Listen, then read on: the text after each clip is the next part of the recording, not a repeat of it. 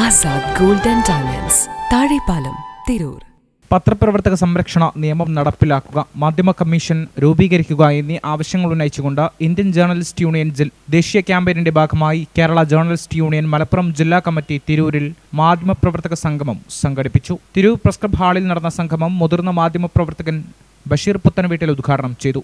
ഈ സംഘടനയുടെ പ്രവർത്തന കാര്യങ്ങളെക്കുറിച്ചും നമ്മൾ മുന്നോട്ട് വെക്കുന്ന ആശയങ്ങളെക്കുറിച്ചുമൊക്കെ നമ്മുടെ സ്വാഗത പ്രാസംഗികനും അധ്യക്ഷനുമൊക്കെ പറഞ്ഞു കഴിഞ്ഞു. ഇനി എന്റെ ഇടതും വലതും ഭാഗത്തായിരിക്കുന്ന സംസ്ഥാന കമ്മിറ്റി ഭാരവാഹികൾക്ക് ഈ കാര്യത്തെക്കുറിച്ച് ഒരുപാട് ഒരുപാട് കാര്യങ്ങൾ നിങ്ങളോട് പറയാനുണ്ടാവുമെന്ന് ഞാൻ പ്രതീക്ഷിക്കുന്നു.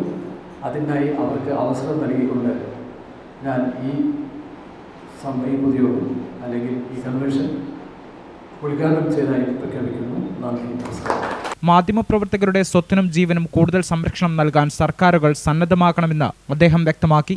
ജില്ലാ പ്രസിഡന്റ് വി കെ റഷീദ് അധ്യക്ഷനായിരുന്നു. ദേശീയ സമരംഗം പി കെ രതീഷ് വിഷയാവതരണം നടത്തി. A P Shafeeq P S Sahadevan Jaisalvattam Premanathan Tanur C P Ibrahim Anil Valavannur Ayisha Haneena O P Raziq തുടങ്ങിയവർ ചടങ്ങിൽ സംസാരിച്ചു.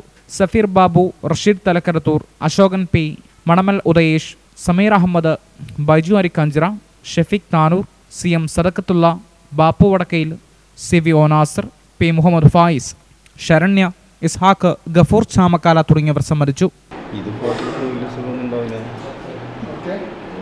news desk twenty T V Majestic Jewelers, Tiro, Gold, Diamonds, Silver and Watches. Celebrating 50 years.